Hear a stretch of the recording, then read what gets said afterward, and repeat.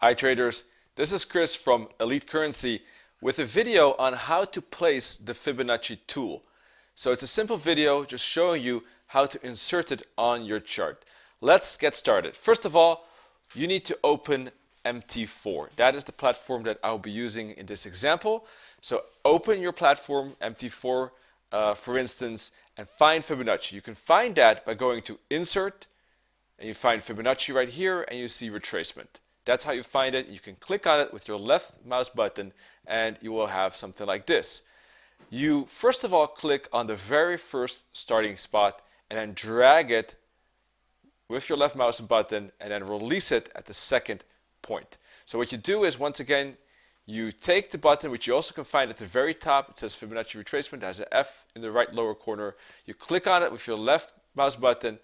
Then you click on the very first spot that you want. Keep clicking, keep holding that, and release where you want to have it. That's how you do it. So you click here, drag, and release so typically where you want to put the Fibonacci retracement level is again a different story. There will be a separate video on what are good swing highs and swing lows in this case, but this is how you technically do it and place it on the chart. Take a look at that video to find out how you actually find the best swing highs and swing lows. So moving on, once we have now the Fibonacci level on our chart, you can see that there's nothing really else to do.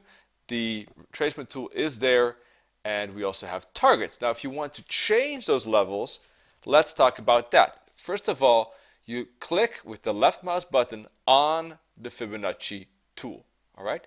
Then you right click on it and left click on Fibonacci or Fibo properties. Then a second screen here is added and you can add levels by clicking, going to Fibo levels here on the tab and add, clicking on add.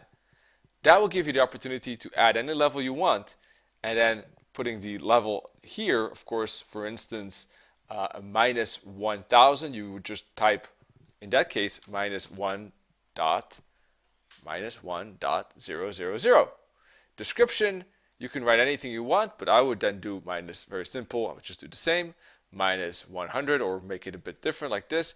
I add also a percent and a dollar figure after a space, so it's minus 100 dot zero space percentage dollar sign, because in that case, currency level, the price levels will be added behind the Fibonacci levels, behind the Fibonacci retracements and the Fibonacci targets.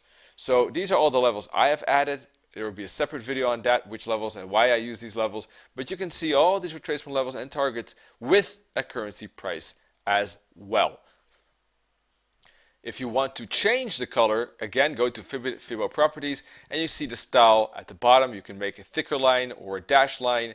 You can also decide to put it on a different time frame, saying, okay, I only want it on the one hour chart. You click then only on one. You say, okay, show on all time frames. No, I don't want that. So you click here and then on the time frames you want, like the hour and four hour, for instance.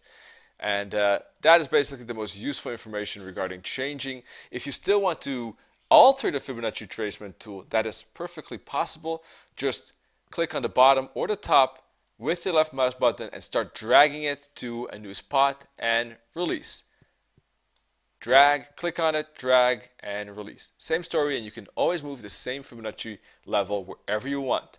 Furthermore, you can of course add a second one if you want to, and you can find confluence and you can change the color of that one, for instance, to something else so that it's easier to recognize the difference between these two Fibonacci levels and you see one is magenta, one is green, and I've added two levels. If you want to get rid of any of one or two or three or how many you want to add, not too many obviously, otherwise the chart will be too busy, just click on right click on the Fibo properties and delete.